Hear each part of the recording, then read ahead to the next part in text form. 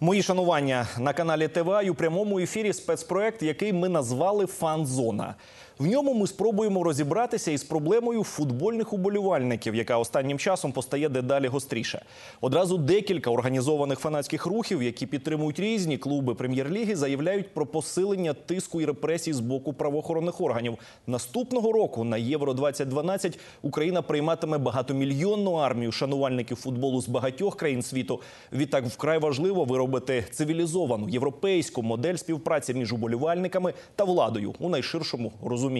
Сьогодні ми покажемо документальний фільм під назвою Останній аргумент. Він про фанатів і знятий, до речі, самими фанатами. Це такий погляд зсередини на організований рух футбольних ультрас. Після документального фільму ми обговоримо проблему із гостями студії. Можете ставити запитання на сторінці програми Фанзона у соціальній мережі Facebook. Ну а поки що останній аргумент перший документальний фільм про організований рух футбольних ультрас.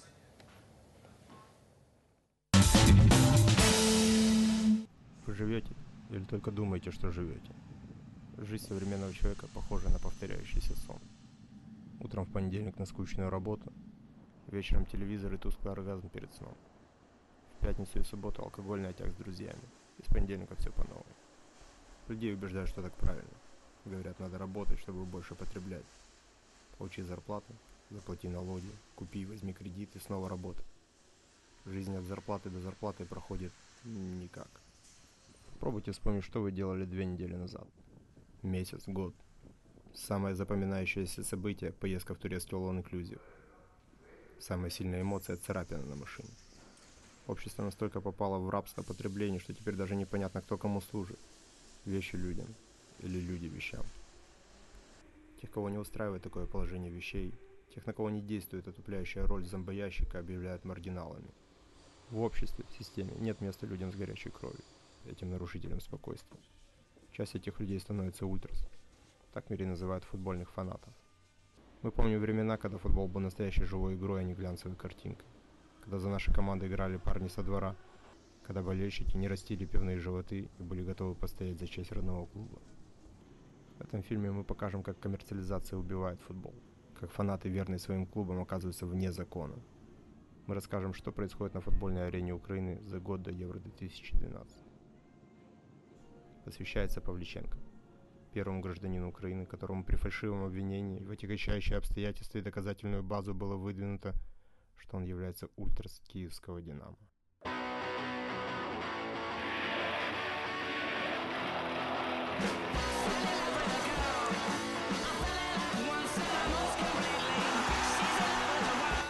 Это выплеск эмоций, это огонь, это одна из стихий, это, ну, это волшебство.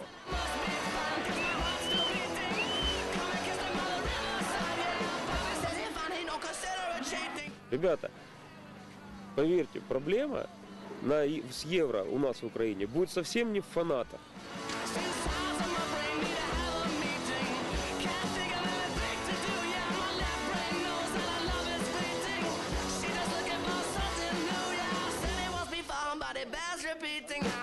Выгодны эти провокации и зачем они происходят, мне сложно понять.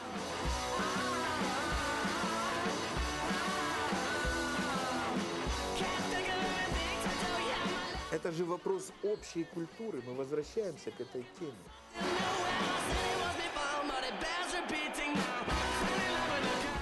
Ну, навряд чи буде по голові, може десь там хоче десь по спині.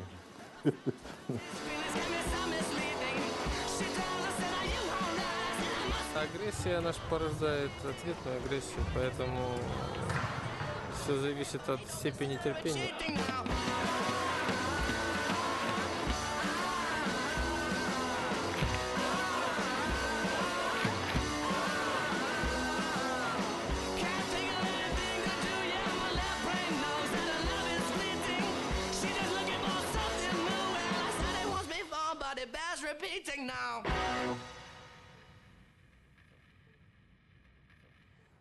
Просто вырос на Красноармейской.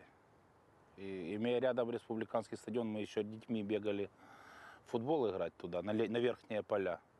Зимой катки заливали. И имея рядом республиканский стадион, конечно, сложно было не окунуться. Во-первых, я из детства всегда болел, мой отец болел за «Динамо». Так, мы, так сложилось, что уже вот 8 лет, как я играю в динамовской футболке. Можно сказать, что для меня это родной клуб, родная команда. Днепр это, это мой город, это где я родился, где я э, вырос, где я работаю. Это мои друзья, это мои родственники, это моя команда. Отец переживал за «Динамо», там за деда не могу сказать. Э, Я тоже переживаю за «Динамо», это мое родное. Ну, тут мои корни, я не могу представить себя без этого. На начало матча флаги, дымы и стробоскопы, ничего больше.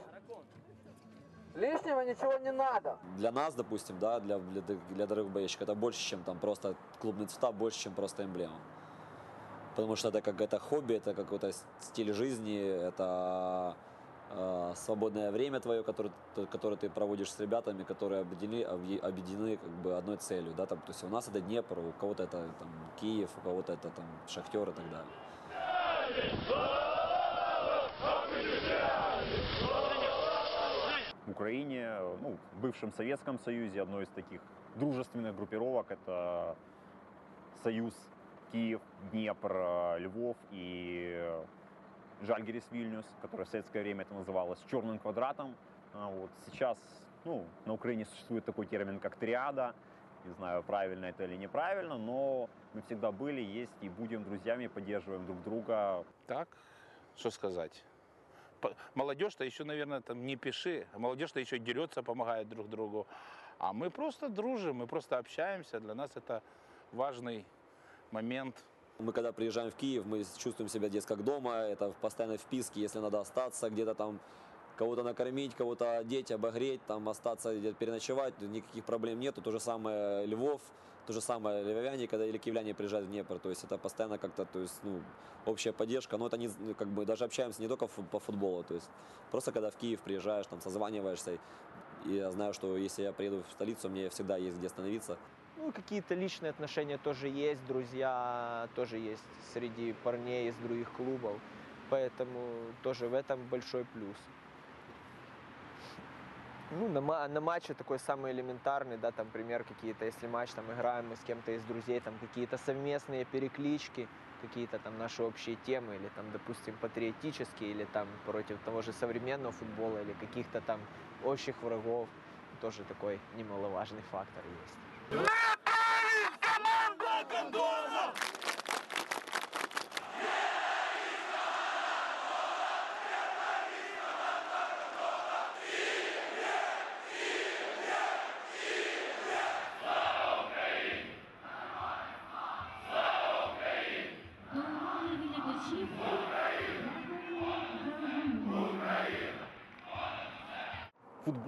борьба, начался с того, что люди с одной улицы решили выяснить, кто играет сильнее. Мы или те ребята с другой улицы. Наш город или город по соседству. И так и появились те противостояния в футболе, те матчи, которые вызывают повышенный интерес. Да, это так называемые дерби, когда играют команды из одного города. Э, Эти матчи всегда пользуются повышенной популярностью, всегда привлекают к себе большое внимание. Так появились матчи принципиальных соперников, такие противостояния, как э, если взять Испанию, это Реал, Барселона. Если взять бывший Советский Союз, это Динамо Киев, Спартак, Москва. Если взять нынешнюю Украину, то, например, матчи киевлян с э, донецким шахтером э, вызывают повышенное внимание. В свое время там Одесский Черноморец, который сейчас в первой лиге, тоже являлся и является для нас принципиальным соперником. З Волиню і з Ужгородом у нас стосунки, ми воюємо з ними. І в першу чергу це через те, щоб домо- е, до, довести всій Україні, що на Західній Україні найсильніший клуб це є Кар- Львівські Карпати, які тобто, і на футбольному полі, і поза ним можуть перемогти любу команду на Західній Україні. именно эту игру ждешь, что-то там к ней как-то готовишься определенному, там совсем другой закал, как-то совсем по-другому идет поддержка, то есть, ну, тут кто в теме футбольно, тот меня поймет. Все едут в Киев. Матч «Динамо Киев-Спартак», как и в прежние годы, вызывает колоссальный интерес. Пожалуйста, по несколько слов. Вы болельщик киевского «Динамо»? Я киевлянин, естественно, болельщик киевского «Динамо». Хотя Пойдё- уважаю, люблю «Спартак». Поедете вы на матч? Ну как домой не вернуться на матч? Специально еду, чтобы быть на матче. Кто выиграет? Ну, конечно, А теперь мы уже в Киеве на республиканском стадионе.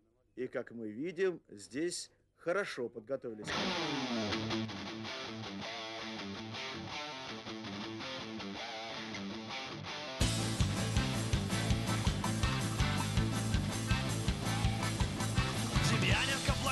Бессонов, наши идеалы. Мы ждем, когда откроют дверь на стадион «Динамо»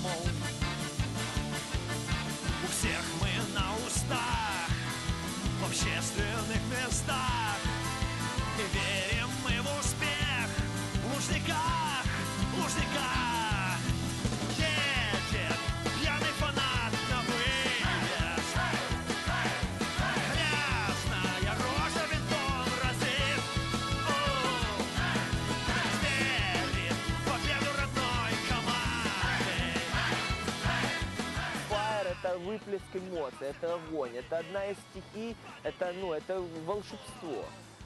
Это эмоции, это взрыв, это как, так же, как забивается гол, у тебя просто сумасшествие наступает. Фаер это вып- выплеск это, это выплеск эмоций. Если это все грамотно используется, если это все используется с умом, и, то это выглядит красиво, и, зачаст- и, это нравится и футболистам, потому что мы общались с игроками, мы знаем, и это нравится людям на трибунах, потому что э, это зрелищность, и это как бы неотъемлемая часть того же ну, как бы футбола. Ну, мне как бы нравится то, что проводят акции, там, баннеры разные в поддержку игроков.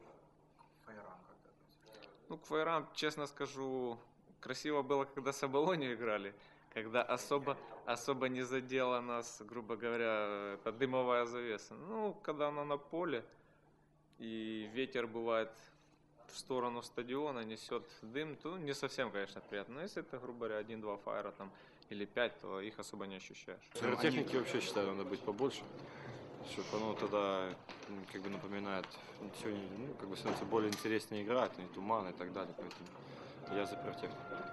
В тех странах, где пиротехнику пытались запретить или пытаются запретить, ее использование только, э, число ее использования только возрастает на трибунах. При этом болельщики начинают ее использовать уже не для того, чтобы поддержать свою команду, а для того, чтобы просто делают это на зло, на зло органам правопорядка, чтобы продемонстрировать, что мы принесем, мы сожжем, мы сорвем матч, потому что вы не учитываете наше мнение, вам плевать на нас, как на болельщиков.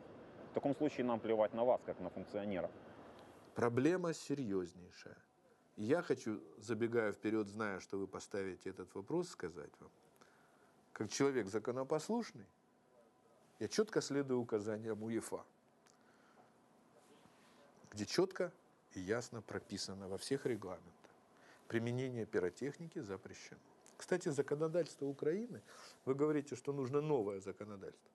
Ну и в законодательстве прямо записано, что применение открытого огня, огня в местах скопления граждан, в общественных местах запрещено.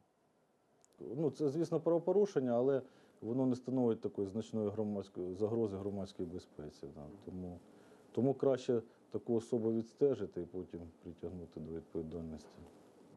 Очень многие не понимают, для чего палят э, ребята на стадионах ФРА. Ну а по сути это последний аргумент, который остался у активного болельщика, чтобы э, показать, э, с одной стороны, свою радость в случае забитого гола, или наоборот высказать свой протест, когда команда показывает не ту игру, которую от нее ждет болельщик.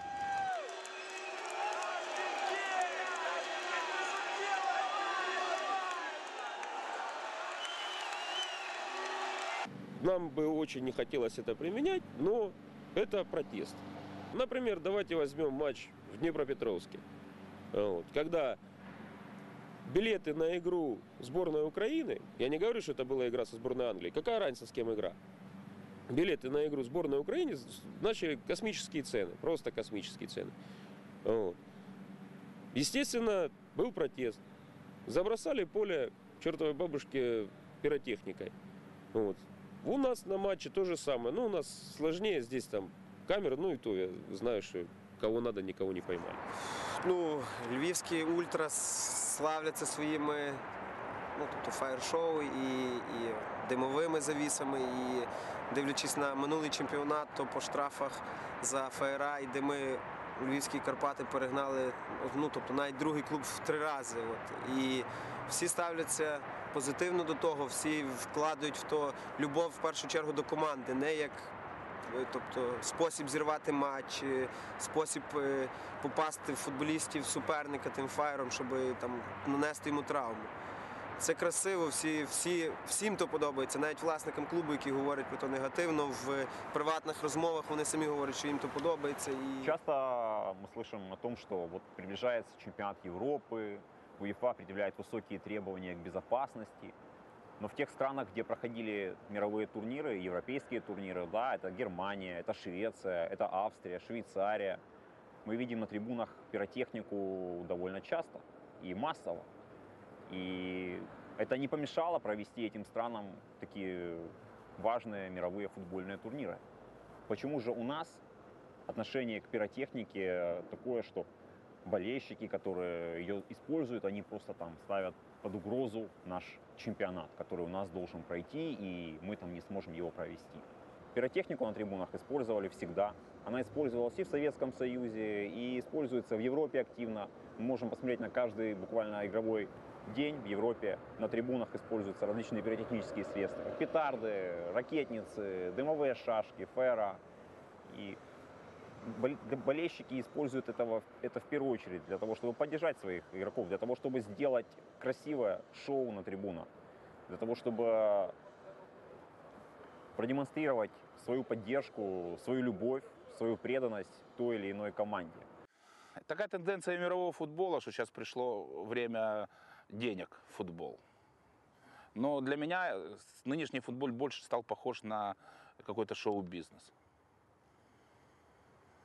Шоу-бизнес связаны, э, то есть там, где все вопросы проходят через деньги, э, в том числе и вопросы мотивации, в том числе э, и вопросы самой игры, в том числе подборки кадров, в том числе подборки игроков.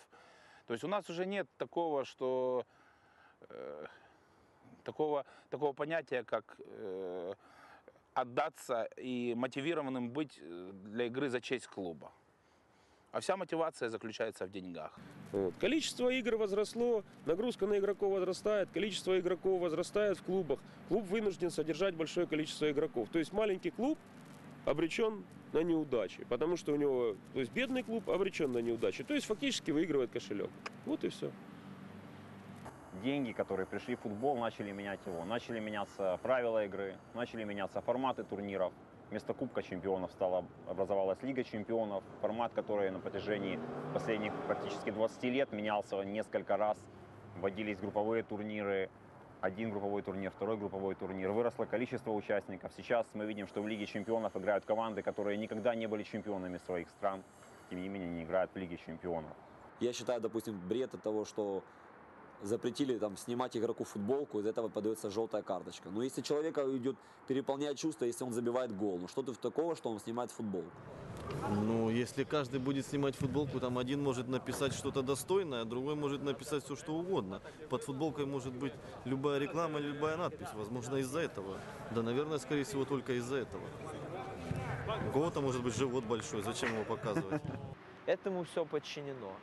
Начиная от э, трансферной политики, переходы игроков в другие клубы, там, переходы игроков в клубы, которые как бы исторически сложились, там, например, с твоим клубом у него какие-то враждебные или там вообще там ненавистные отношения, и игрок переходит из одного клуба, в, кото- в котором он играл там всю жизнь, вырос, допустим, в школе, да, его вырастили, там, ну, например, в Динамо Киев, например, там, Влада Ващука, которого настоящие фанаты, ну, перестали просто после этого уважать. Я помню, как на Влада Ващука там обиделись там, до сих пор, когда он был в команде.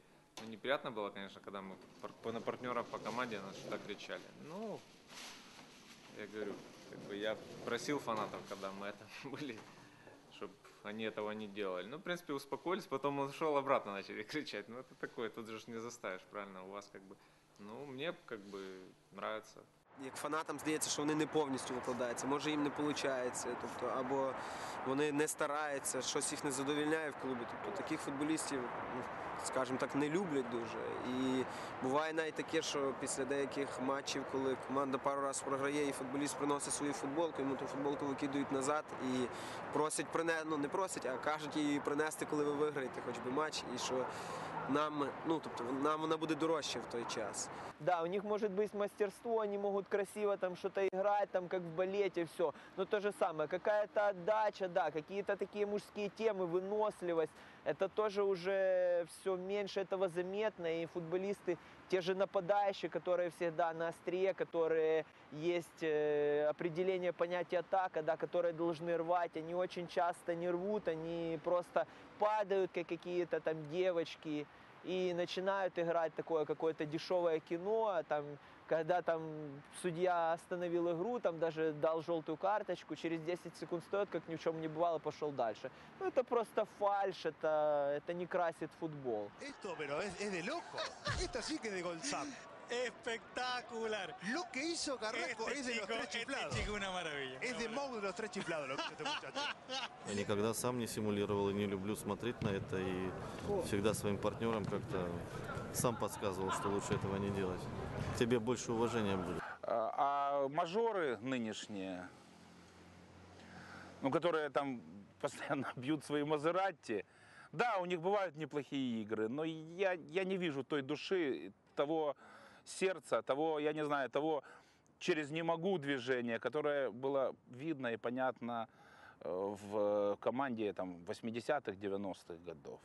Даже сколько бы мы их не получали, вроде тоже немало. Вот по сравнению, будем говорить, с министром или там еще каким-то таким функционером, таким достаточно высокого ранга. То есть мы получали, будем говорить, ну, надо побеждать было. То есть мы побеждали и получали. Но они нам не мешали играть. И мы играли как вроде бы, ну, по отзывам хорошо. Не могу с вами согласиться. В то время, о котором вы говорите, в 80-х годах, были совершенно иные представления у людей о комфорте, о качестве жизни, о социальных услугах и правах. Были совершенно иные стандарты качества, и мы все с радостью сходили на деревянные лавочки и на одно размеченное выцветшей краской место садились втроем. И считали верхом блаженства и радостью только лишь, что мы попали вовнутрь стадиона и можем наблюдать за нашей любимой командой. Сейчас, когда человек приходит на стадион, он хочет получить что? В первую очередь он хочет получить качественный спортивный продукт. Функционеры, ну тут тоже отдельный разговор, они все подстраивают как бы под себя, по то, чтобы футбол просто приносил деньги.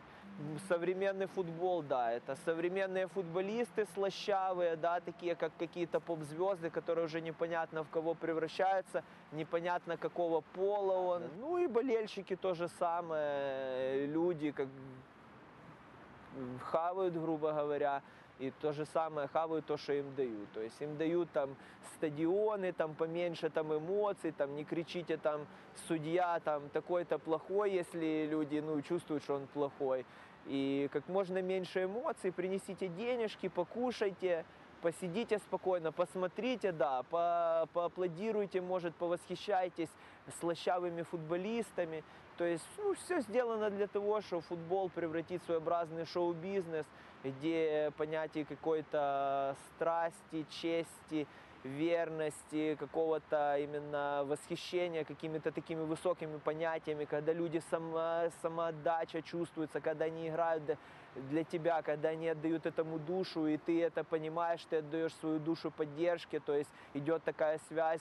Ну, это все уходит, это выветривается, это уничтожается. Вот, вот все, что делают деньги. Все превратилось простое зарабатывание бабла и в красивую картинку. А по сути внутри ни- ничего хорошего там я не вижу. Е, Скажіть, е, натуралізація іноземних гравців, ваша думка з цього приводу? А, Добрый вечер, Украина. А, Вы знаете, ну, давайте папу Гуе, да, вот не такой давний пример сделаем украинцам. Вот, э, Дэвича с его черным языком уже сделали, да. Вот, ну, посмотрите, это сборная Украины или это солянка со всей Европы будет? Давайте решать. Если нам нужен результат любой ценой, ну да, давайте скупать игроков.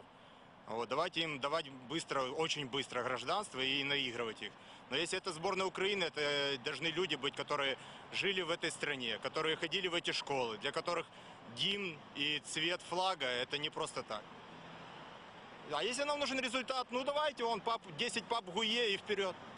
Спасибо, ми зрозуміли. Савік. 10 пап Гуе, я думаю, с группы не выйдем. Да? Так что тут какой бы тренер ни был. Я прекрасно розумію гумор. Я прекрасно розумію гумор. Просто в них викликало різко негативну е, реакцію на те, Это що была було. шутка, Я раз вы розумію. хотите. Але Да, да. Тут проблема иностранец.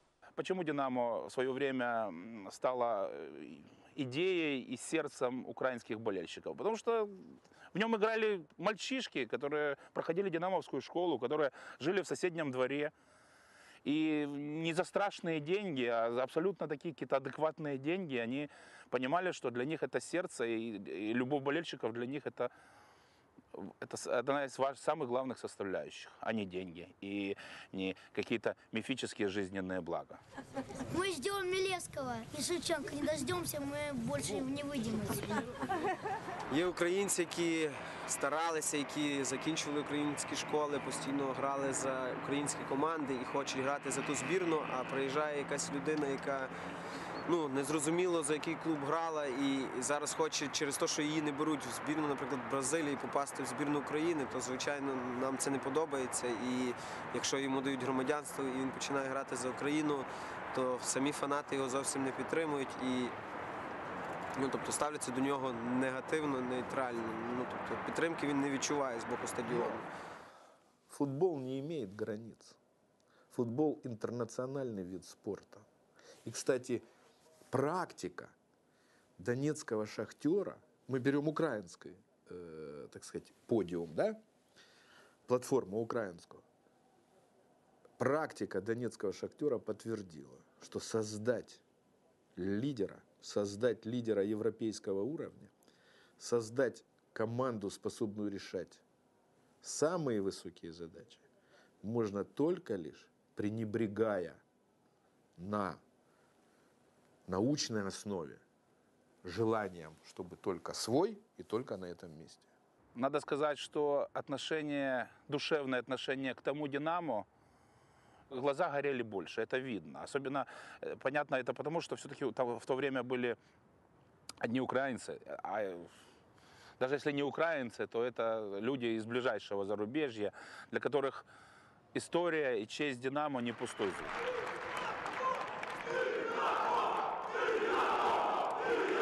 Э, Есть люди, которым действительно э, в большей мере это меняют не из-за, в большей мере из-за денег, потому что за сборную действительно в некоторых странах платят большие деньги. И, возможно, из-за этого, из-за того, что они не попадают в свою сборную, хотят доказать, э, что они хорошие футболисты в другой сборной. Рассуждаю сейчас как болельщик, если бы я вот еще не играя в футбол профессионально, всегда болел за свою страну, переживал, если б ну, наша сборная играла бы очень много натурализированных футболистов, я бы, наверное, за нее так не болел. Есть люди, которые настроены крайне агрессивно и говорят, что никогда не должен иностранный футболист, тем более темнокожий, я не скрываю этого, хотя здесь проявления определенные есть, да, мы, наверное, будем говорить еще об этой теме, да, не может быть в составе национальной сборной Украины. Не, не потому, что там разговор о расизме, но просто сложно представить себе папу Гуе, держащего руку на сердце и поющий э, гимн э, Украины казацкого рода. Ну, Для меня, конечно, ну, я больше не буду как говорить об этом, но как бы для меня эта конструкция сложная и малопонятная. Если этот игрок готов усилить сборную команду, и нет рядом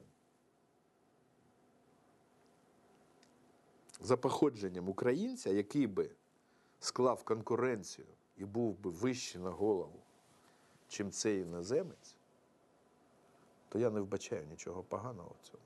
Я считаю, что есть сейчас достаточно хорошая молодежка, которая показывает добротный футбол, как бы и на, на этих молодых парней стоит опираться, то есть они заниматься натурализацией игроков.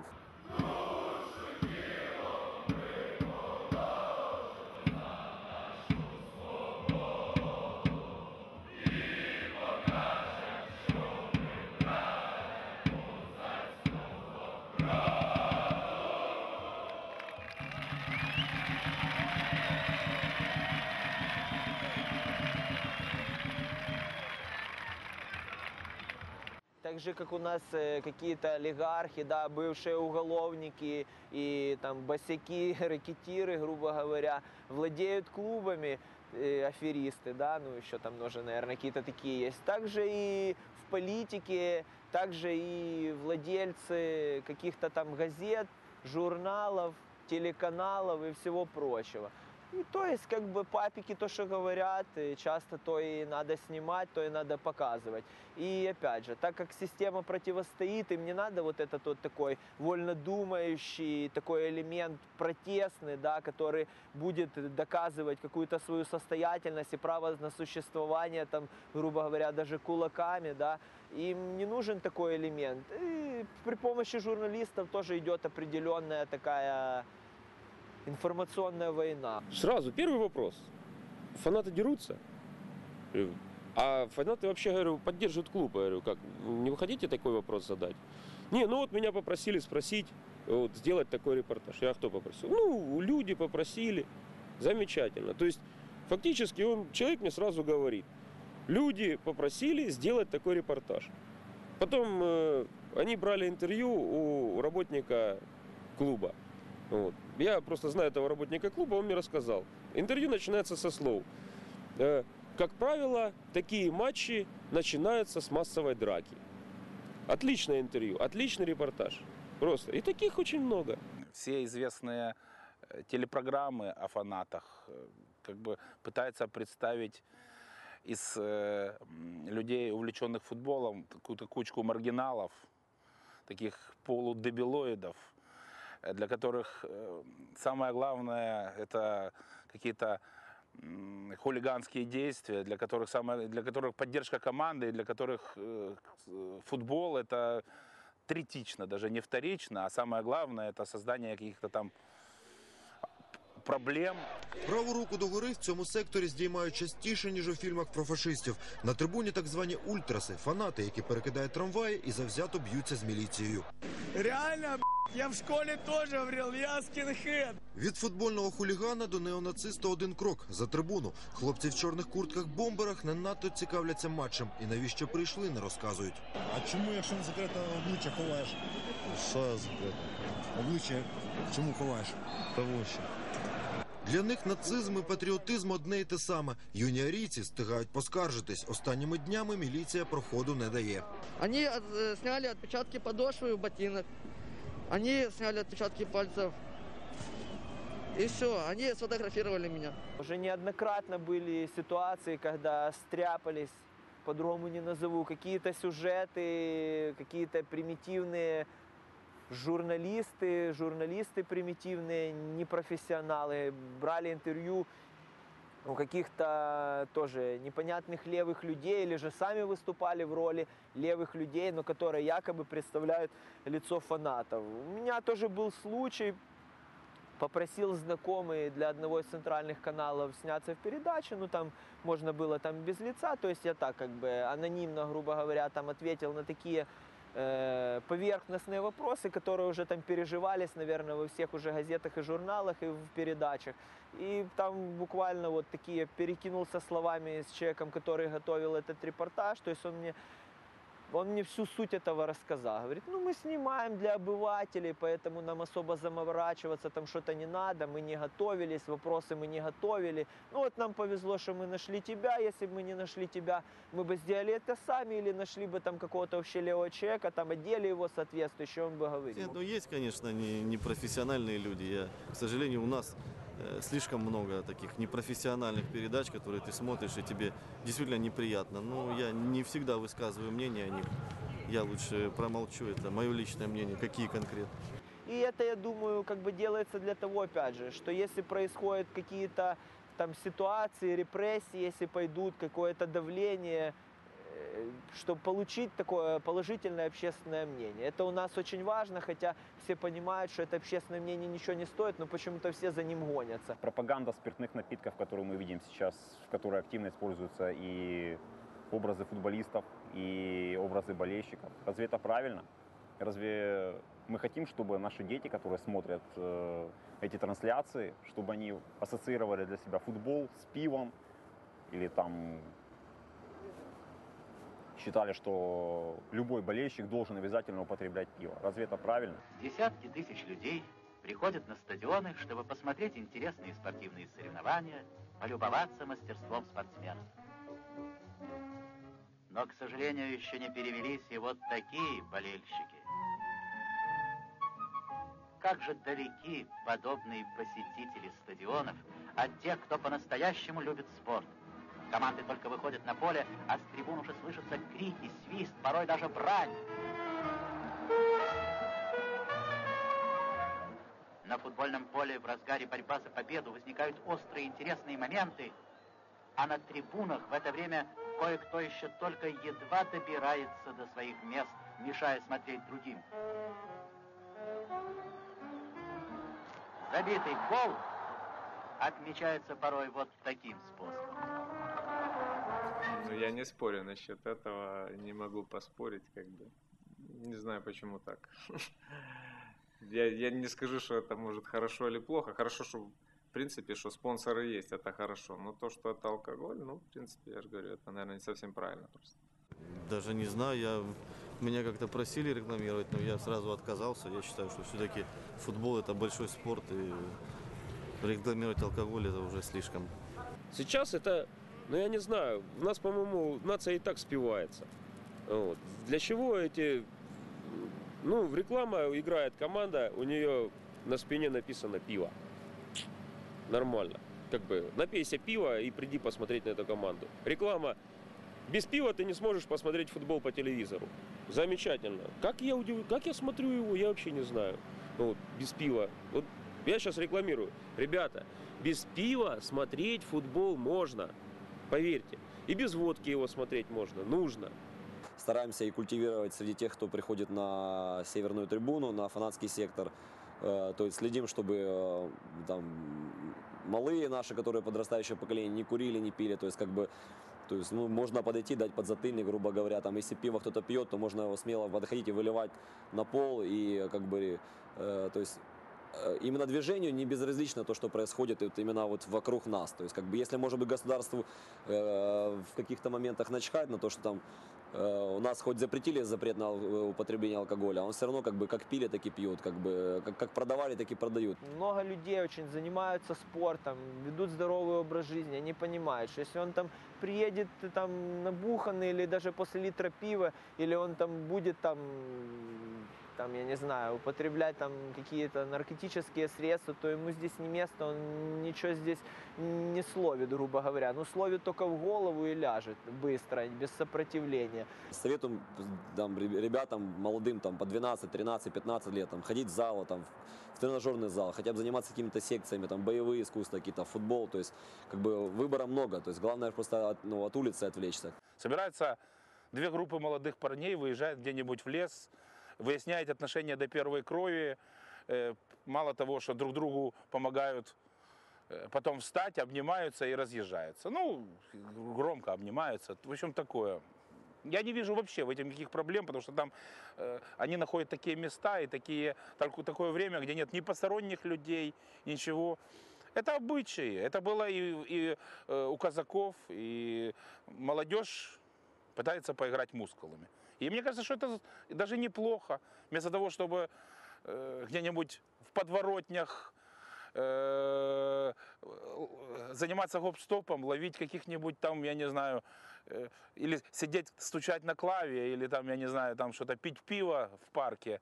Люди себе тренируются, занимаются спортом и время от времени сами себе доказывают то, что они сильные, healthy and strong.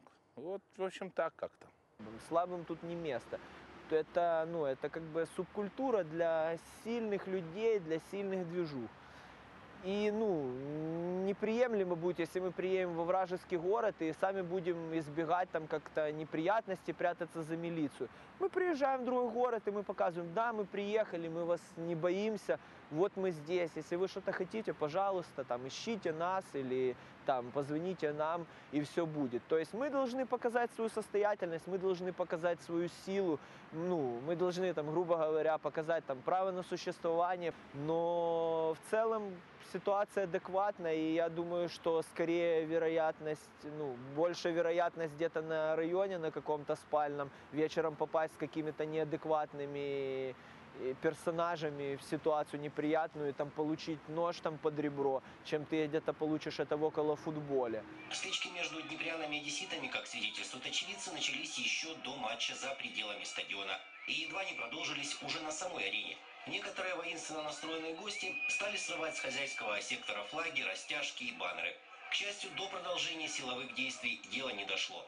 Вообще интересный э, момент получается между милицией и фанатом. Вот сами подумайте, э, футбол обычно проходит вечером, и обычному сотруднику милиции в это время уже пора бы идти домой, вот, но его заставляют э, идти на работу и стоять и в дождь, там, в снег, э, в оцеплении и смотреть, как э, обычные люди, которые идут отдыхать с хорошим настроением, с улыбкой, заходят на стадион. Сразу получается конфликт. Э, Милиционер, особенно мы знаем, что многие из милиционеров приезжие, не киевляне, вот, смотрят на то, как идут, э, многие идут э, на отдых, вот, и ненависть просто брызжет из, от сотрудников милиции. По сути, у нас к болельщикам относятся как э, к преступникам. Это постоянные досмотры, это попытки ввести какие-то карточки, продажи билетов по удостоверениям личности. Но если мы приходим на концерт или в кинотеатр, или в театр и покупаем спокойно билет э, без каких-либо паспортов, без сдачи там, отпечатков пальцев, нас при этом не осматривают по три раза, не ощупывают наши карманы, то почему, приходя на футбол, мы должны подвергаться этим всем досмотрам? Ні, ну скажи, що у тебе хотіли забрати. Ми хотіли забрати розу, тому що там написано... Вот эту вот? Оце розу, тому що написано Ультрас, Ультрас, просто так. Слов, я из Киева приехала. Это просто беззаконие, это просто что-то страшное. Просто это с- просто мягко сказано. Потому что мало то, что полное. Что именно, скажи? Все, организация. Это беркутня, который стоит и непонятно чем занимается. Вместо того, чтобы открыть 5 ворот или 10, нормально людей запустить, они стоят ищут зажигалки и спички и газетки отбирают. А не дай бог в газетках кто-то войдет с зажигалкой. У меня была возможность беседовать и поддерживать отношения с двумя министрами внутренних дел Украины. С покойным Кравченко, Царство Небесное, и с господином Луценко. И когда возникал этот вопрос, я им говорил только одно. Милиции нужно научиться любить свой народ. Они оба мне отвечали, это сверхважная, сверхтрудная и практически невыполнимая на этом этапе задача. А придется. Придется научиться всем функционерам футбольным, тем, кто организовывает, и владельцам клубов, и футболистам, и сотрудникам органов внутренних дел, и всей правоохранительной системе научиться любить своих сограждан, тех, кто приходит на стадион.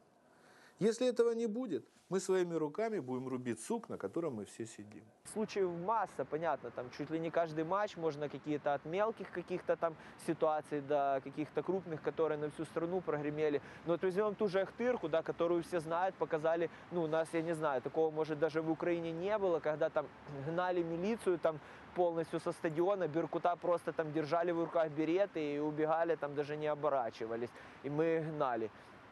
То же самое, с чего все началось. Да, приехали, да, кто-то был пьян, да, кто-то где-то бузил. Но это все, в принципе, это можно все решать, это можно, это можно все улаживать и урегулировать, это можно все делать. Но ничего не делалось. И что мы получили? То есть состав стоит, да, состав разогретый, состав на выезде, состав с пиротехникой, состав хороший, скажем так, да, стоит на стадионе. Подходят два местных э, каких-то, я не знаю, как их назвать, ну, может, местные авторитеты или кто, ну, грубо говоря, так. Ну, в общем, подошли местные два кузневича, что-то начали там говорить некрасивое, что-то некрасивое показывать. Ну, соответственно, этого было этого было достаточно. Милиция, то есть просто как бы обозначала свое присутствие, соответственно, люди ломанулись, кто-то где-то махнул дубинкой, все, понеслась. Ми повинні діяти, працівники правоохоронних органів, відповідно до обстановки, яка складається. І, в принципі, ну, я вважаю, що ну, ну, рідко коли можна так сказати, що, ми, що міліціонери діють неадекватно. Тобто є ситуація, є відповідне реагування. Може, воно десь ну, дещо е, перевищує якісь повноваження, але відповідно до ситуації не можна передбачити чітко там кудись нанести е, удар, коли йде натовп і коли цей якесь там правопорушення припиняється. Да, агрессия наш порождает ответную агрессию, поэтому все зависит от степени терпения милиции. То она достаточно имеет силу воли, чтобы что-то допустить, но тем не менее каких-то там жестких санкций не применяет, то есть в рамках какого-то разумного, то, я думаю, инцидентов не происходит. Но только проявляется какая-то чрезмерная агрессия, как с одной, так и с другой стороны, это всегда приводит к там, к кровопролитию. например. З приводу подій 2007 року на стадіоні НСК Олімпійський, коли е, міліція втрутилася і в секторі е, наводила порядок. Е, Ну, дії були визнані е, з боку працівників правоохоронних органів дещо ну, такими, що не відповідали ситуації, що складалася. Деякі з них були притягнуті, там близько 10 посадових осіб притягнуто до відповідальності дисциплінарної.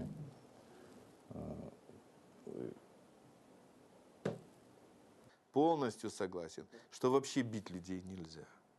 Даже в сложных ситуациях, кроме как задержания опасного преступника с целью предотвращения иного правонарушения. Человек, облеченный властью, бить человека, не облеченного властью, не может. Это, со- собственно, и есть преступление. Останній наш в місті нашому найбільший трабл з міліцією був з- на останньому Єврокубковому матчі з Борусією. Коли, е, тобто, в першу чергу недопрацювання міліції, коли ми е, хотіли провести марш, який буде і тут сьогодні. е, Тобто марш від центру міста до стадіону, в якому брали участь приблизно до двох тисяч людей. І коли ми вийшли на центральну алею, і там були фанати Борусії і почали заряджати свої заряди, і з їхнього боку почали летіти в нас бутилки, і з нашого боку відповідно. Тобто це було в першу чергу недопрацювання міліції, там був хвилинний трабл, який закінчився тим, що ми пройшли далі, а фанати Борусії або розбіглися, або їх забрала міліція. От. Ребята, поверьте, проблема на, е- с евро у нас в Украине будет совсем не в фанатах. Проблема будет в тех гопорезах, которые из э, ущербных городов и так далее приедут сюда. Проблема будет в тех наркоманах. Вот. Ну так с ними ж тяжело бороться, да? Их, их- ты ж не отчитаешься, что вот мы победили наркоманию у нас в отдельно взятом районе, и тебе повесят медаль на грудь. Нет, а фанатов победить легко. Они все, вот они, мы все стоим. Вот. Каждого снимают на камеру, ка- на каждого есть э, бумажка, на каждого есть файл. Вот. Пожалуйста, нас победить очень легко. Вот. И медаль себе на грудь повесить. Так, у нас в кожному е, підрозділі органів внутрішніх справ е, ведеться така база. Зокрема, це Донецьк, Київ, ну і такі приймаючі, це як зразкові. База на осіб, які затримувались за вчинення правопорушень під час проведення масових спортивних заходів. Тобто людина затримується, доставляється в орган внутрішніх справ, ну, відповідно до законодавства, до трьох годин. Тобто її Е, відібрали пояснення в неї, склали протокол про адміністративне правопорушення, сфотографували відбитки пальців і е, до рішення суду або відпускають, або до рішення суду і вже після рішення суду відпускають. За що забрали його, а? Алло! Кожна людина, яку затримали, був суд, і в 90% випадків е, суди закінчувались оправданням тих людей, і навіть в деяких випадках е, затвердженням того, що міліція вчинила неправомірні дії, і винувата сама міліція в тому, що сталося. Мне так всегда это смешно э, слышать, что вот там какие-то черные списки, да. Тут пр- прекрасно понимаю, что мы рядовые болельщики, как бы, да, те, кто ходит, но мы на эти матчи не попадем нигде. То есть, потому что, во-первых, будет безумно дорогие билеты, они будут реализовываться через интернет, и это понятно проблема как бы всех э, таких э, соревнований крупных, что как бы рядовому болельщику попасть там, то есть студенту, который ходит на фан-сектор, будь то в Харькове, там, в Донецке еще где-нибудь, попасть на матч чемпионата Европы будет практически нереально. Действительно, когда вытаскивался этот конверт с надписью Poland and Ukraine, да, и там все бегали на ушах, я, кстати, тоже был рад этому. Первые ощущения были ну, просто праздник. Я был на чемпионате мира в Германии, я видел, как ну, там действительно был, ну, вся страна, ну, один сплошной праздник. Но что мы видим сейчас? Где дороги? Где новые скоростные поезда? Где у нас стадион Олимпийский, у вас, по-моему, в передаче я это слышал, подорожал на 500 миллионов долларов. Подорожал. А э, в Португалии строили стадионы за 100 миллионов. За 100 миллионов новый стадион. А у нас только подорожал могу на 500 проверить, миллионов. но верю вам на слово. Так вот, как, о, каком, о каком единстве, о каком празднике мы можем идти? У нас получился отличный повод распила бабла. А платим за это мы. Вот и все. И, люди уже ненавидят. А это, это, это вообще, это, это всем налогоплательщикам это ударило нормально по карману. А конкретно по нам...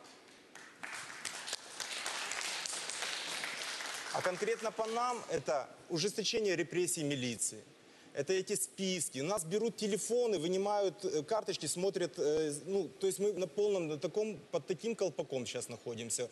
То есть уже, уже фанаты, сами фанаты, против, против этого чемпионата. Ну, не нонсенс ли это? Ну, підготовка триває активно до євро. Особовий склад готується е, належним чином. По-перше, е, проводяться щоквартальні тактико-спеціальні навчання з питань забезпечення громадського порядку, припинення можливих порушень громадського порядку е, під час проведення футбольних матчів. Ну, якщо вам відомо, як приклад можна назвати Донецьку область, і е, репортажі теж е, показували про ці заходи. Е, Значить, в Донецьку у нас, в принципі, як можна сказати, як показовий орган внутрішніх справ, де опробовується європейська модель забезпечення правопорядку під час футбольних матчів. Це стосується залучення мінімальної кількості правоохоронців, Тобто на трибунах повністю е, відповідальність е, керівництва стадіону і стюардів. А міліція вже по периметру стадіону на територію міста, населеного пункту, де відбувається футбольний матч. Э, Давайте же не будем сторонниками двойных стандартов, которые выдумываем сами. Значит, э, извините, но э, на Крещатике меня охраняет милиция, на Грушевского меня охраняет милиция, а стоит мне пройти чуть выше по парковой аллее и попасть на стадион «Динамо» имени Валерия Васильевича Лобановского, меня уже никто не охраняет. Почему? Почему? Здесь охраняю, а здесь не охраняю. Там барабан нельзя, мегафон нельзя, то есть как бы ну, как-то непонятные какие-то запреты. Хотя зачастую как бы ничего плохого в том же микрофоне, бараб... то, мегафоне, барабане нет. Те же самые флаги, там цензура на транспаранты. Вот если английским языком написано, все этого нельзя. То есть как бы стараешься объяснить, там, перевести, что на баннере написано, как бы, ну, потому что специфика чаще всего всех бан... все бан- баннерная линия практически, то есть название фирмы все, как бы они практически латиницей написаны. И, э, к сожалению, а, у нас в внутренних органах не все люди знают английский язык, поэтому приходится переводить, но зачастую никто этим не соглашается, и очень часто баннера оставляются просто в автобусах привезены. Ну, я не говорю там о наших каких-то промышленных городах, да, там что-то где-то делается, там в Донецке, там Ренат Леонидович такой есть, да, человек, там что-то вроде как вокруг шахтера так более-менее красоту наводит. Но в целом каких-то таких вот таких вот прямо там какого-то прорыва для Украины я не вижу, его не будет, потому что, ну, большинство денег и средств, они, да, они просто разворовываются и разворуются. Даже люди там знакомые далеко ходить не надо, мир же тесен, да. Кто-то где-то там из знакомых работает на строительстве дороги у меня сейчас, кто-то где-то на Олимпийском. И истории, ну, просто шикарные. С точки зрения европейских стандартов качества, мы все же, на мой взгляд, пока еще не готовы к тому, чтобы соответствовать этим самым высоким стандартам. Как с точки зрения комфорта, так и с точки зрения безопасности, так и с точки зрения проведения матчей. 16 команд в премьер-лиге, из них на сегодняшний день лишь три клуба имеют стадионы высокого уровня и качества. Ну, так что в целом я, конечно, оцениваю, как бы, скорее мне бы не хотелось, чтобы было евро, чем я обрадовался, что оно есть. Если бы страна у нас была немножко другая, если бы у нас были немножко другие политики, и это был бы шанс для Украины подняться в каком-то экономическом плане, как-то заявить еще, еще как-то о себе на весь мир, там, как в каком-то положительном клю- ключе, тогда да. А так, ну, я только какие-то, большинство негативных моментов. Но если вы сейчас посмотрите на любой английский стадион, где можно вот так вот взять и прикоснуться к футболисту, потому что расстояние от трибуны до бровки поля там полтора там, или два метра, но там висит маленькая табличка, маленькая, и на ней написано attention, внимание, вторжение в игровую зону запрещено. Штраф тысячу фунтов и пожизненное отлучение от возможности посещать любой матч в Великобритании. Я был у них, сидел э, в э, выездном секторе вместе с болельщиками Портсмута. Так у Портсмута нормально, все красиво. А у тех просто сидят люди, кушают бутерброды, как... Ну, в общем, все превратилось как в бейсбол в Америке. Ну, это, это никому не интересно. Я не знаю, добавляет ли это патриотизма и какой-то мотивации игрокам команды. Мне кажется, не добавляет. Смотреть, что тебя никто не приветствует, ты никому не нужен, а так какие-то редкие, жалкие хлопки. Ну, мы к этому идем. Ну, давайте вернемся к истокам зарождения фан-движения, которое зарождалось в той же самой Англии, да, как формы рабочего протеста против эксплуатации, насилия, непомерного э, многочасового рабочего дня и недели и низкой оплаты. И люди, зная, что в массе своей на многотысячном стадионе, они, чувствуя плечо к плечу и рабочую солидарность, могут этот протест высказать. И они его подобным образом высказывали.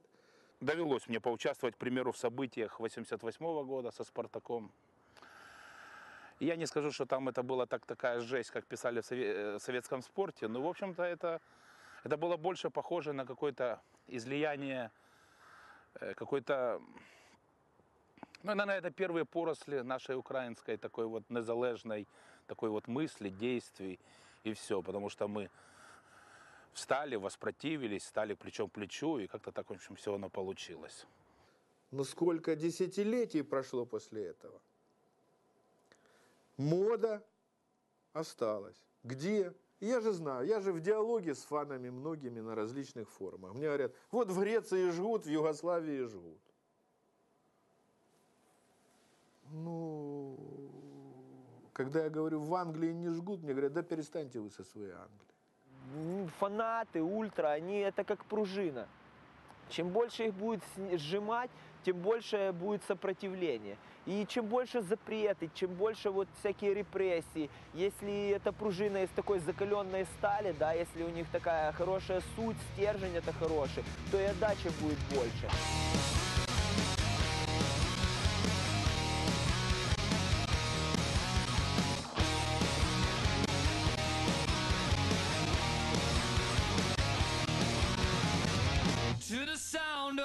Heartbeat pounding away.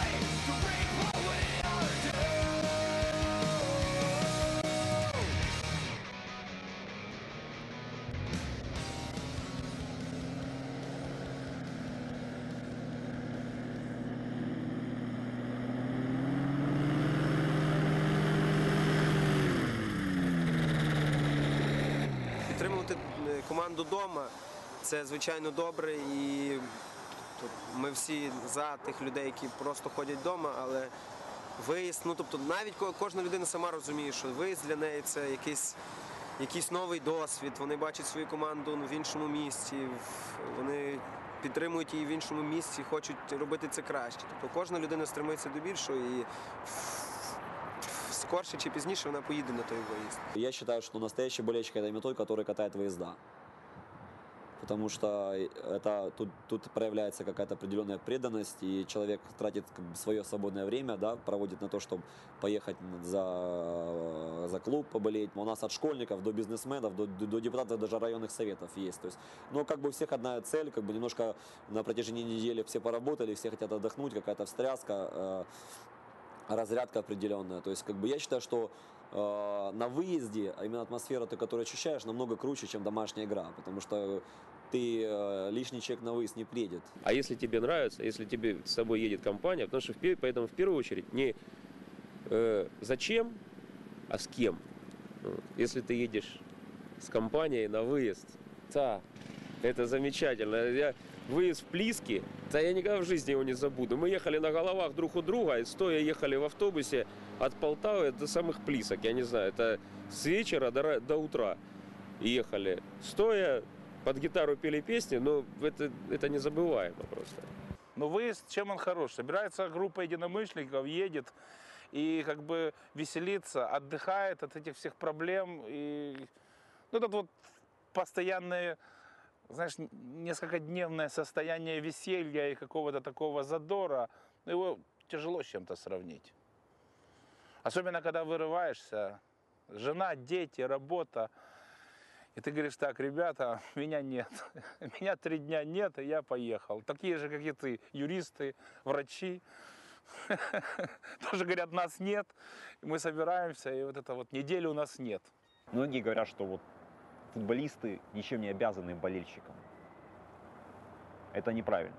Это неправильно по той простой причине, что если футболисты играют ради денег, то пусть они играют где-нибудь там в Кунче-Заспе, в закрытом манеже между собой. Но я не думаю, что хоть один из футболистов скажет, что мне приятно играть при пустых трибунах. Это неправда. Саме перше ми граємо для вас, для фанатів, а потім йдуть болівальники. Після фанатів йдуть болівальники. Я рахую, не було б фанатів, за нами, ні, за нами ні, ніхто не їздив, нас б не підтримували. І ми б грали при, просто при чужих болівальниках, на виїзді, наприклад. Когда ты на выезде, когда там, грубо говоря, полный стадион против тебя, и когда мы забиваем, и стадион молчит, а своя там, грубо говоря, там 100-200 человек, неважно сколько там, даже 20 человек, то это всегда приятно. Хочу пожелать, чтобы они болели за «Динамо» и, и в, и в неудаче поддерживали команды, и в, в победах. И, короче, всегда были с командой, и, а мы уж постараемся поменьше их огорчать. Я рад, что сейчас болельщики гораздо больше ходят на футбол и не просто ходят, а действительно поддерживают команду. Это важно. И даже сегодня вы видели, что пришло довольно много людей и действительно поддерживали, и ребятам было интереснее играть. Для нас действительно очень важна ваша поддержка, как фанатов и ультрас, поэтому я считаю, что она очень необходима. Тем более такие выезды, как в Минск, я думаю, что они остаются в памяти надолго, поэтому приходите побольше, чтобы действительно было очень приятно слышать такое огромное количество болельщиков. Все, что делают фанаты, оно в моем понимании всегда идет на пользу коллективу. Они заводят весь стадион, они заводят ребят, поэтому когда идет дрожь по это ваша заслуга. Я хочу вам подякувати за це, що ви любий і в хороший час, і в поганий час цей час є з командою. І дуже здорово вболіваєте і їздите за командою по цих містах. Хочу вам дуже подякувати від себе і від нашої команди.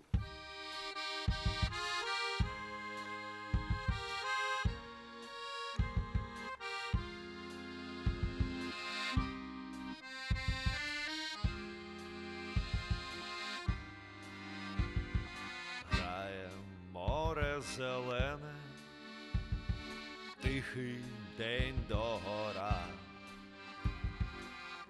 Дорогими для мене стали схили Дніпра,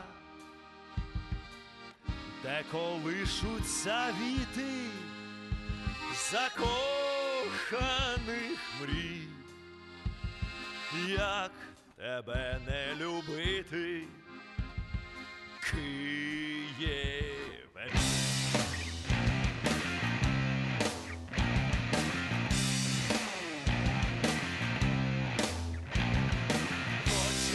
Очі серце в них перелю.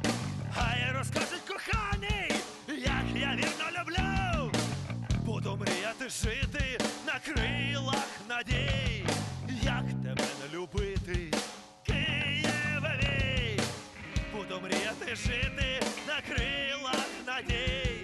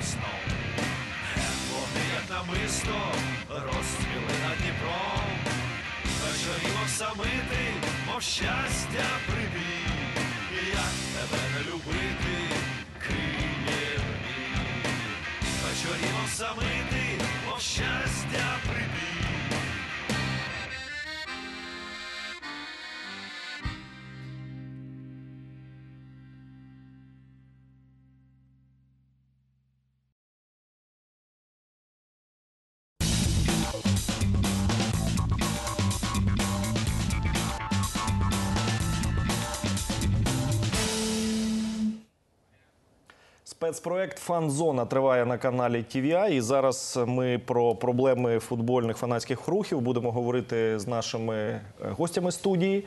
Ви можете ставити до них питання на сторінці нашої програми у мережі Facebook Фан-зона. От і я хочу представити вам наших е, гостей. Це Тарас е, Кузьменко, один з авторів того фільму, який ми тільки що показували. Останній аргумент. Він, до речі, ультрас Динамо Київ. Так, Да. мої вітання. А ще футбольний журналіст та коментатор Ігор Мірошніченко. Мої вітання. Добрий вечір. Одразу хочу запевнити, що ми запрошували сюди також футбольних функціонерів різних. Не змогли або не захотіли, тому будемо говорити без них. Е, Почнемо давайте м, з того, що привітаємо напевно одне одного з непоганою грою вчора, е, яку показала е, наша команда збірна на новому стадіоні НСК Олімпійський. Як, до речі, і матч, і стадіон вам? Ну, матч неплохой, стадион, скажем так, конечно, рассчитывали на лучшее, но, видите ли, не работали турникеты, давка, люди штурмовали там эти заборы, в общем, есть еще очень много нюансов, которые, ну, предстоит решить, хотя открывался он с таким пафосом. Ну, а я би сказав, що е, щодо стадіону мені важко оцінити як людині, яка безпосередньо була на стадіоні, бо я на нього не потрапив через е, спекулятивні ціни на квитки. Принципово не хотів платити спекулянтам, хотів підтримати державу, яка витратила мільярди на цей стадіон. Телекартинка е, показала, що стадіон, ну максимум, що змінилося, це дах з'явився. Тобто, звичайно, ну рівень не такий, як хотілося би. Не точно не коштує тих коштів, майже 5 мільярдів гривень, які витратила держава на цей стадіон. Ну а щодо матчу, то я би сказав, що е, це був, мабуть, один з найкращих матчів збірної України в плані атакувального футболу, який вона продемонструвала за останні там років 5. Е, якби тільки не одне, але очевидно, що турнірної мотивації в німців ніякої не було. Звичайно, вони не збиралися програвати, і вони, коли зрозуміли, що можуть програти, зробили все. І, мені здається, навіть не досить складно їм було зробити те, щоб була нічия. Ну нічия, зрештою, це все рівно позитив для відкриття стадіону, непогана карма Результативна, тим більше така Так, нічия. так, Да. безперечно. Тарас, давайте повернемося до теми вболівальників і футбольних фанатів. Що зараз е, відбувається у середовищі активних футбольних фанатів Ультрас?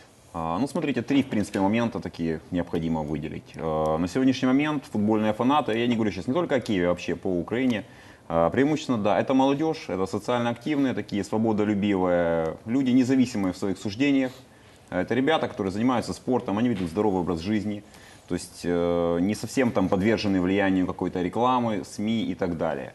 Во-первых. Во-вторых, это люди достаточно организованные. То есть это люди, которые может, могут сами по себе собраться, поехать в другой город, не под руководством чьим-то, не под чьим-то предводительством. Э, Естественно, такие люди, ну, они власть немножко, ну, не немножко, а действительно серьезно пугают, потому что как бы они боятся, власть боится того, что вот эти люди могут выйти на улицы и что-то в стране поменяется. Естественно, идут различные провокации, в том числе и против нашего движения, против киевского «Динамо», и аналогичное против других движений. Где-то открываются уголовные дела, где-то, как, допустим, на стадионе «Динамо», там сотрудники устраивают различного рода провокации, чтобы показать, какие фанаты плохие, какие они ужасные. В действительности э, сейчас в движении, ну, это не те времена, когда какие-то пьяные там хулиганы, подростки все громили, дебоширили. Нет, люди относятся к, ко всему серьезно, и не только на трибунах, но и вне трибун проводим различные спортивные турниры. Вот завтра там ребята едут в очередной раз детский дом посещают.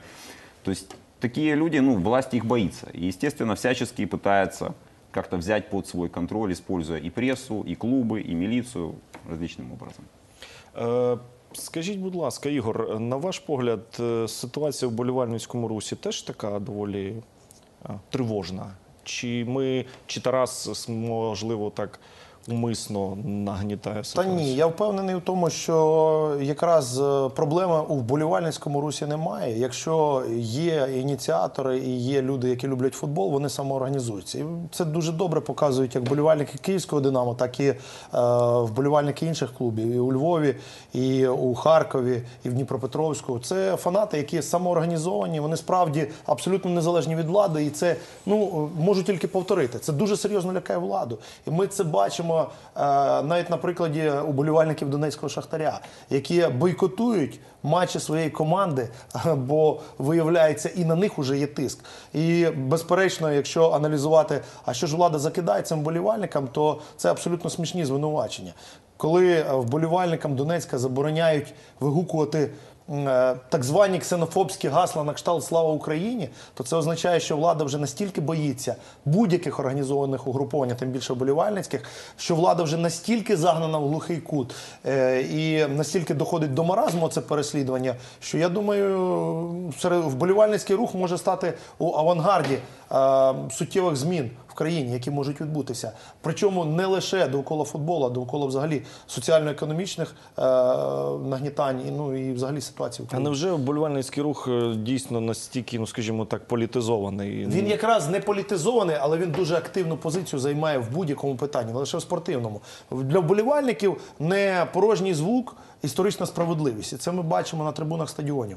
До речі, якщо хтось говорить, що е, там банери е, з портретами героїв України, там Шухевича, Бандери, це є політика, то вони глибоко помиляються. Це ніяк не є політика. Це ну просто е, спосіб висловити симпатії до якоїсь певного історичного періоду, до якогось певного історичного героя, або мені здається, просто е, спосіб показати на кого треба орієнтуватися, на кого орієнтуються ці вболівальники. І ви знаєте, я от е, закінчую думку, дивився трансляції е, спортивних змагань з інших країн.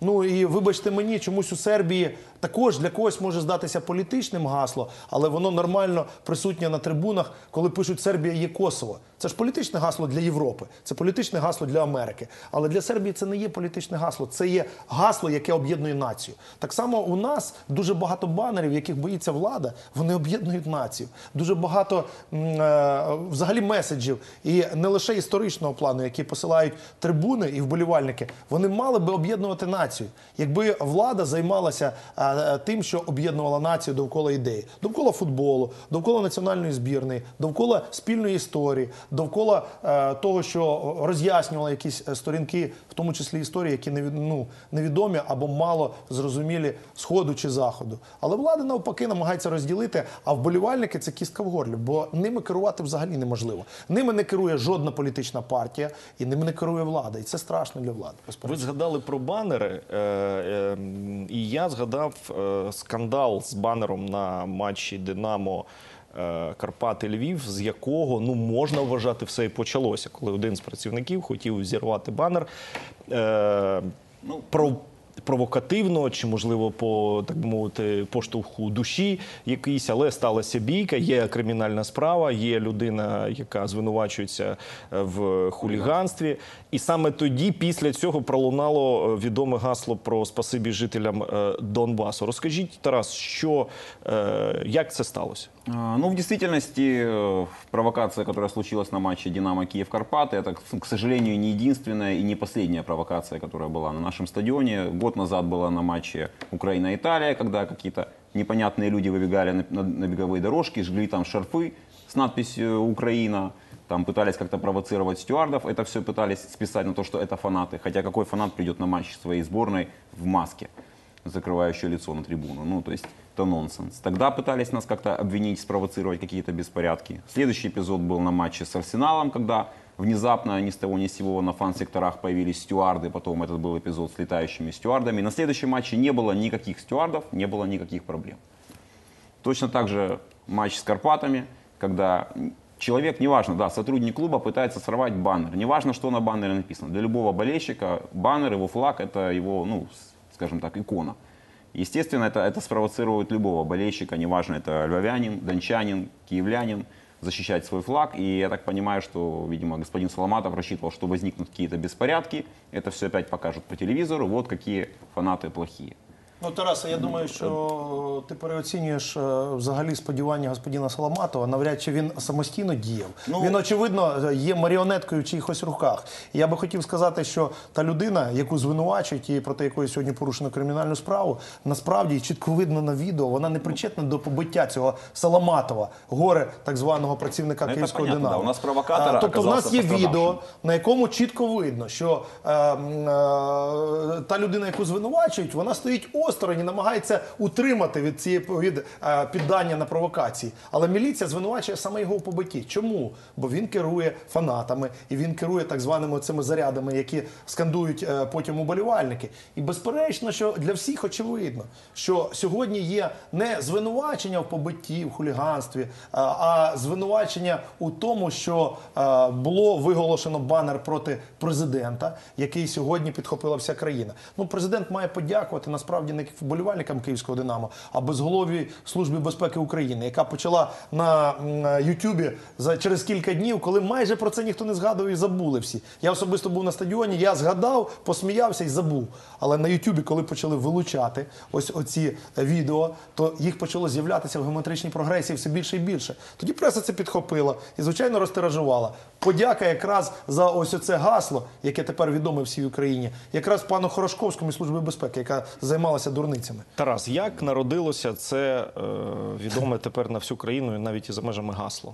Ну, Його можна, його можна придумати прямо в секторі, або треба ну, якось розучувати. Ну, знаете, это, наверное, такое народное творчество. И тут нельзя сказать, что вот там автор Иван Иванович Иванов. Там, да, то есть Це зараз дуже небезпечно зізнаватися Ну, в авторстві цього да, гасла. Да, дело даже не в этом. Дело в том, что люди, ну, как, нельзя вот разделять просто людей и болельщиков. Ну, не может человек, э, приходя на стадион, допустим, да, на два часа забыть обо всем, что происходит в стране, что происходит, то есть как-то вот мозг отключить от себя полностью. Естественно, если люди переживают, если люди волнуются, если у людей какие-то, э, ну, какие-то чаяния, надежды, ожидания, и они на футболе просто выплескивают их из себя, то есть это нормально абсолютно. Ну, це, це була підготовлена е, акція. Це ну ви, ви е, готувалися до цього чи ні? Ну, если бы люди готовились к этому, были бы какие-то баннера, там, транспаранты большие, то есть, а, с- ну, как можно готовиться что-то проскандировать? Ну як зібратися разом і вирішити сьогодні скандуємо оці там 5 чи 6 слів. Ну, это сложно сказать, честно говоря. Я Скорее бы- всего, это было спонтанно, на эмоциях, по той простой причине, что, ну, все видели, человек пытался сорвать баннер с портретом э, Степана Бандеры. если не ошибаюсь. Романа Романа Шухевича. Шухевича, ну, возможно, я уже забыл. Я А би, вот, и- якщо з вашого дозволу можна, ну зрозуміло, я би от сьогодні е, це гасло, знаєте, воно стало певним яблуком розбрату між сходом і заходом. Ну, політичним фактором вже Ні, стало але це. воно стало яблуком розбрату. Кажуть, ну от ви ж розділяєте знов схід і захід, там навіть ура патріоти так звані. Вони кажуть, не можна скандувати цього гасла, бо ви ображаєте мешканців сходу. Я, до речі, згоден із ними до певної міри. Я би запропонував сьогодні новий меседж.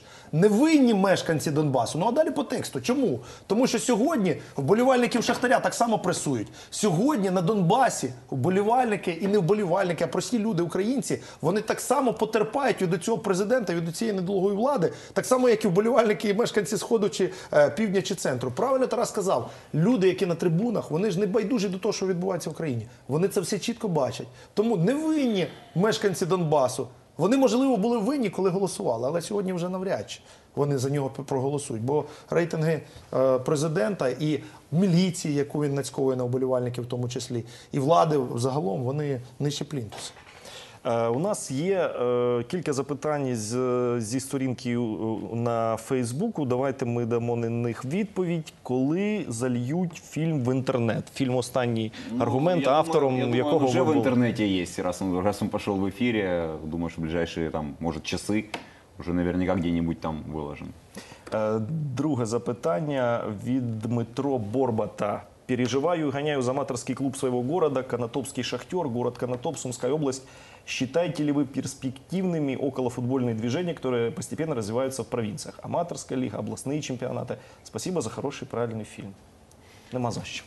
Ну, что значит перспективными? Конечно, если люди интересуются футболом, если они переживают за свои команды, ездят за ними, поддерживают их, то это всегда перспективно, это хорошо, это правильно, во-первых. Во-вторых, э, в низших лигах, да, если высшая лига, там матчи, ну, премьер-лига, да, первая лига, там матчи более-менее так проходят при присутствии милиции, телекамер и так далее, то в низших лигах, там, как правило, если один участковый находится на стадионе, это уже, скажем так, матч повышенной опасности. А, как правило, и поэтому там действительно часто события происходят такие более даже красочные, чем у нас вот на, на матчах премьер-лиги. Там в Севастополе не так давно, они сейчас играют в первой лиге, там тоже у них были столкновения определенные на стадионе. Ну, мені Поэтому здається, там, що там важ- не скучно. Важливо, звичайно, розуміти, е, що аматорський футбол і футбол там нижчого рівня він може існувати безперечно, якщо буде підтримка. Підтримка е, не просто якихось окремих меценатів, а підтримка на державному рівні. Має бути державна програма розвитку, в тому числі футболу. Тільки не так, як у нас ніби державна програма всього існує, але по факту тільки існує для того, щоб качати гроші в бюджет з бюджету е, певним особам, які відповідають за реалізацію цієї програми. А треба, щоб реально вона працювала. І я вважаю, що якщо ця влада сильна, то вона мала би давно е, продумати цю програму і реалізувати її для того, щоб у маленьких містах так само люди могли е, насолоджуватися грою в футбол. Е, так само існували дитячо-юнацькі спортивні школи. Я думаю, що кожен із нас, е, коли був малим, пам'ятає ці часи, коли ми могли вибирати йти на легку атлетику, йти на футбол, йти на хокей чи займатися баскетболом, боротьбою чим завгодно. Сьогодні в дітей такої можливості немає. І якщо влада дбає в тому числі про нормальні фанатські рухи, а не про футбольних хуліганів, для яких футбол взагалі нічого, а головне побитися. Якщо вона хоче, щоб у нас була класна країна і у нас було гарне враження від Євро 2012, то вона має якраз створювати ці дитячо-юнацькі спортивні школи. Вона має створювати саме на аматорському рівні спортивні рухи. Бо що таке Шахтар, Динамо, там Металіст чи якась інша команда? Це вершина айсберга. Це можна створити, але якщо немає підґрунтя, на чому воно базується, воно рано чи пізно розвалиться. Якщо немає підпитки знизу, якщо діти не бачать перспективи піти в дитячу школу і стати гравцем великої команди, то безперечно, що ці команди будуть штучними, вони ніколи не будуть сприйматися як свої. Ви е, сказали правильні фанатські рухи. Який фанатський рух е, треба, щоб був у нас і в клубах, і на е, Євро 2012? Що хоче влада зробити тиском і репресіями, справами, і там якимось там про- профілактичними бесідами? Вони хочуть, ну. Зрозуміло, що самі фанати не дінуться нікуди. Тобто їх хочуть якось переробити. На яких? Ну, максимально взять под контроль. То есть кричите только то, мы хотим, вы- вывешивайте только те флаги, которые мы хотим, делайте то, делайте это. То есть попытка сделать из фанатов какой-то такой, ну, я не знаю, управляемый, какой-то молодежный, вот какой-то такой комсомол, что ли. В принципе, такие попытки делались и раньше, и еще в Советском Союзе при тоталитарном режиме, в 80-х годах точно так же, там за Ну, тогда вообще фанат это было как бы абсолютно там антисоциальный элемент. Если у тебя шарфик, все, ты уже гарантирован тебе привод в милицию.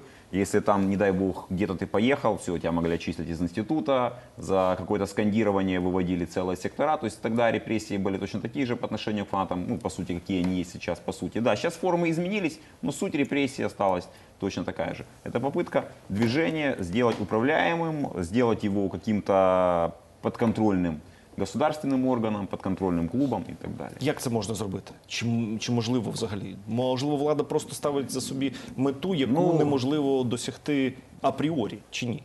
В принципе, сделать это невозможно.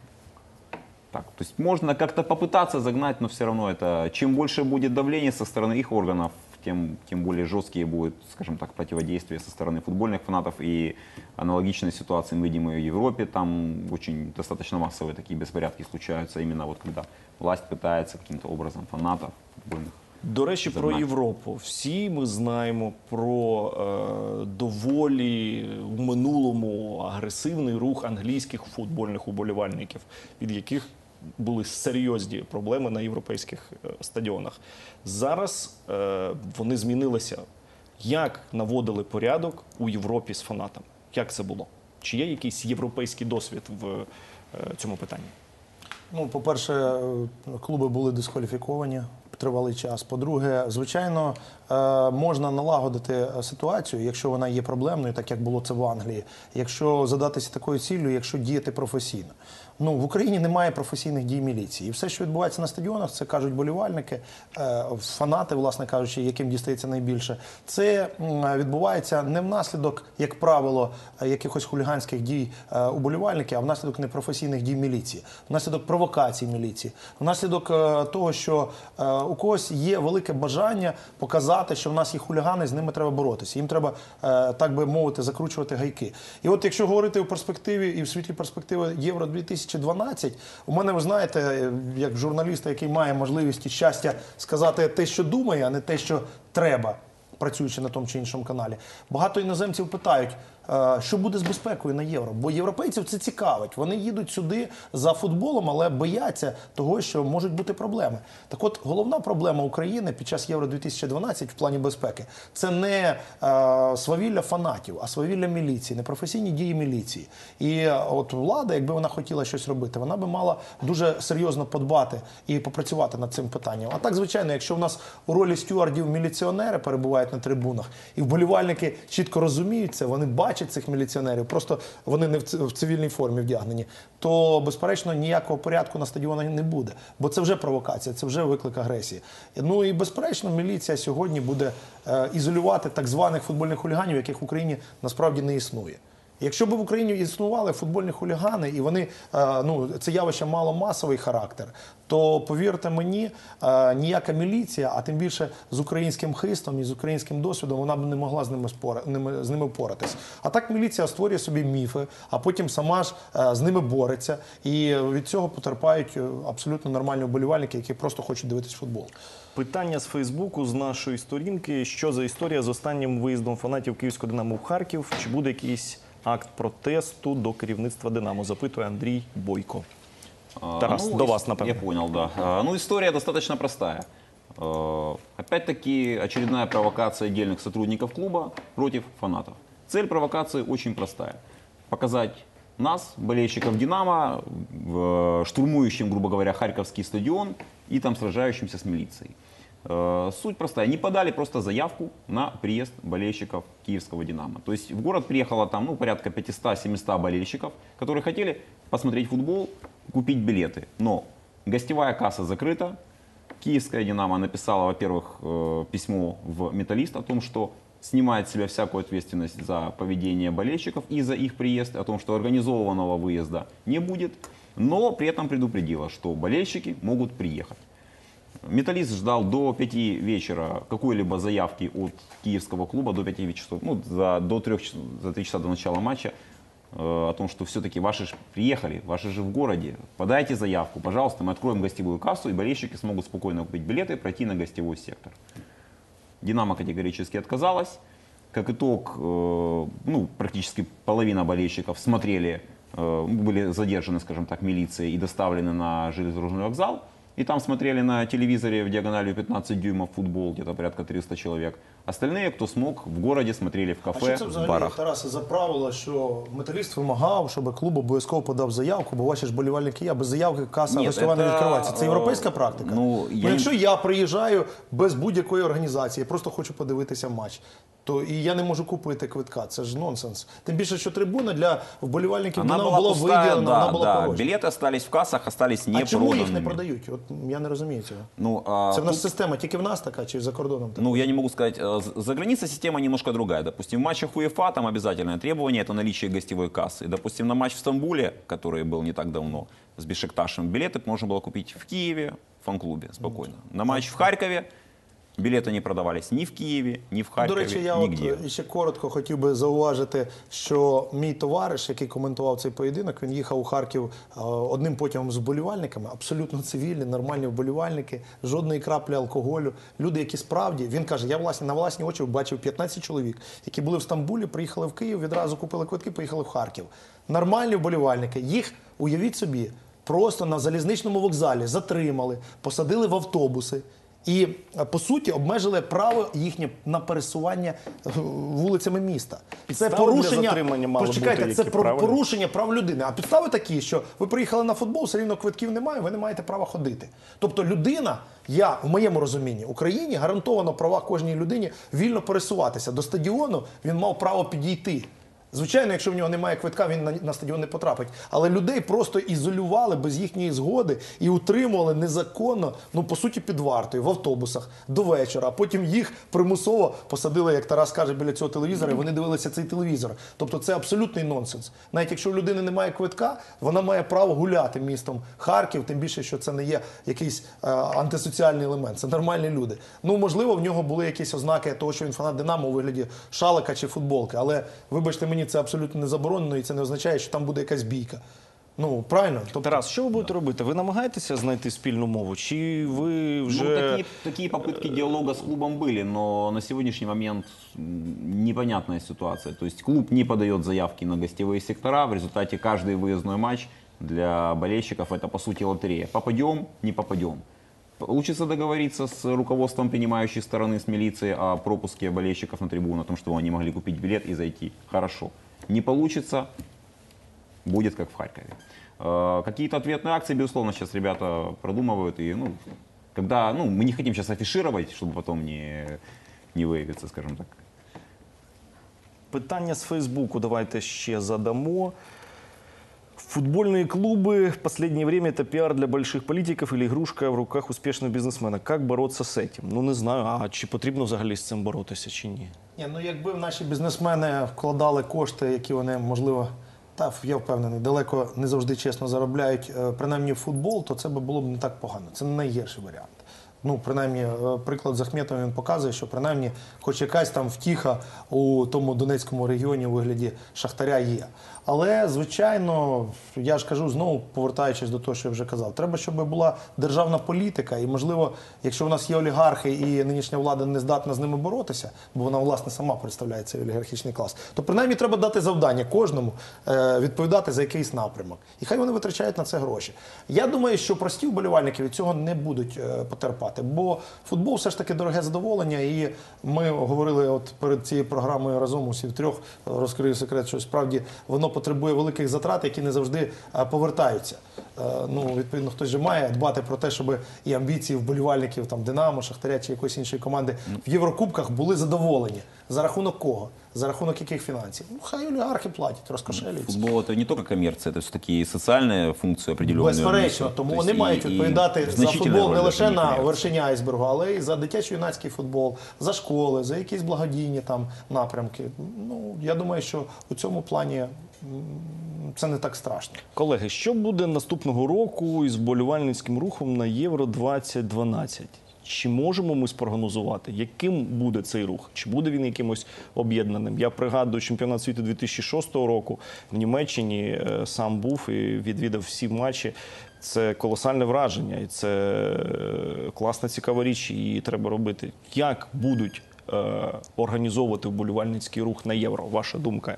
А можливо, ви знаєте. Ну, я думаю, что такого какого-то серьезного движения, к сожалению, не будет э, по той простой причине. Не ясна ни схема распределения билетов, а, ни то, каким образом будут как-то координироваться действия фанатских э, отдельных группировок, да, допустим, там, Киева, Львова, Днепропетровска и так далее. То есть будет на стадионах много людей с флажками, с разрисованными лицами, которые будут кричать «Украина, Украина», пока мы выигрываем, но если мы будем проигрывать, они будут кричать другие слова и просто уходить с трибун. Я, честно говоря, не ожидаю от э, матчей какого-то такого значительного подъема именно фанатского движения. Ігоре, ви Ну, як я би сказав коротко так, що тільки. я впевнений, що Євро 2012 це велике свято, і воно буде великим для всіх болівальників. Головне, щоб е, для них було організовано свято не лише на трибунах, але й поза ними.